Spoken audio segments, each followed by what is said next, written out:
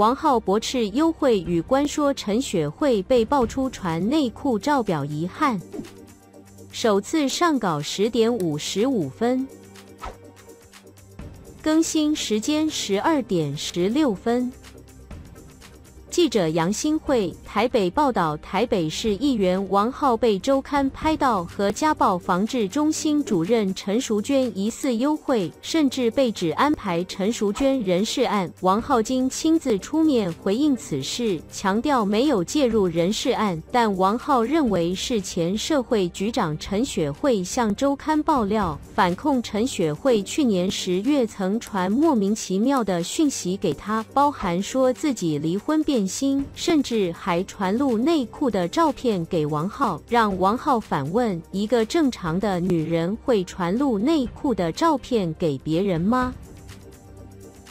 陈雪慧随后发出声明，表示王浩所提三张照片为他本人公开在 FB 分享的生活照，图片下方皆有其他连友阅读及留言记录。因当日心情低落，故过度暴露个人家庭隐私，是生命中的伤口。指王议员以此打击本人，掩饰个人官说社会局副局长人事一案，甚感遗憾。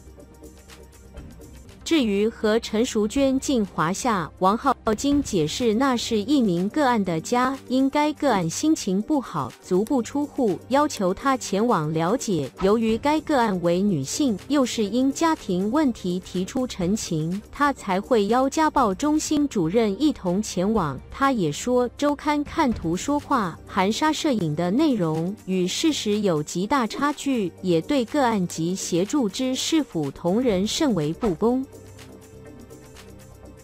王浩上午受访表示，市府离职首长用这样心情来报复离职，他认为很极端。王浩也指陈雪慧传的照片很奇怪，他是已婚男性议员，陈是已婚女性首长，陈却传穿内裤的照片是什么意思？还讲他和先生的状况，质疑陈的心态为何？至于被质疑官说陈淑娟人事案，王浩指出，柯市府人事案并非一个小议员可以影响左右的，柯对于议员的质询都有他自己的考量，而不会照单全收，更何况。